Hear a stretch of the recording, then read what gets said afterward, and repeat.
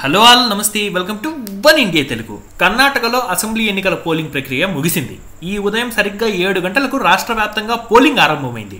సాయంత్రం ఆరు గంటల ముప్పై నిమిషాల వరకు పోలింగ్ కొనసాగింది. సాయంత్రం కరెక్ట్గా ఐదు గంటల సమయానికి అరవై ఐదు పాయింట్ ఆరు తొమ్మిది మేర పోలింగ్ శాతం నమోదైనట్లు కేంద్ర ఎన్నికల కమిషన్ అధికారికంగా వెల్లడించింది. పోలింగ్ ప్రక్రియ ముగిసిన వెంటనే ఎన్నికల సిబ్బంది ఎలక్ట్రానిక్ ఓటింగ్ యంత్రాలకు సీల్ వేశారు. ఈ నెల పదమూడవ తేదీన ఓట్ల లెక్కింపు జరగనుంది.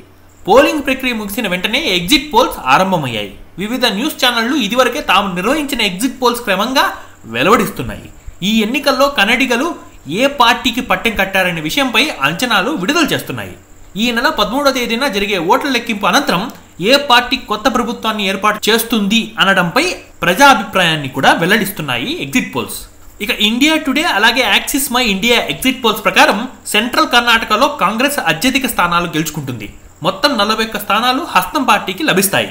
ఈ రీజియన్లో ముప్పై ఐదు స్థానాలతో బీజేపీ రెండో స్థానంలో నిలుస్తుంది. అలాగే జేడీఎస్ పదిహేడు స్థానాలకు పరిమితం అవుతోంది ఇతరులు ఏడు స్థానాలు దక్కించుకుంటారని ఇంకా కరవాళి కర్ణాటక అంటే కోస్తా రీజియన్లో కూడా కాంగ్రెస్ దే ఆధిపత్యంగా కనిపిస్తోంది. ఈ రీజియన్లో కాంగ్రెస్కు కాంగ్రెస్కు పదిహేడు సీట్లు లభిస్తాయి. బీజేపీకి పది ఇంకా జేడీఎస్ ఒక్క స్థానంతోనే సరిపెట్టుకుంటాయి. బెంగళూరు పరిధిలోనూ కాంగ్రెస్ దే హవా.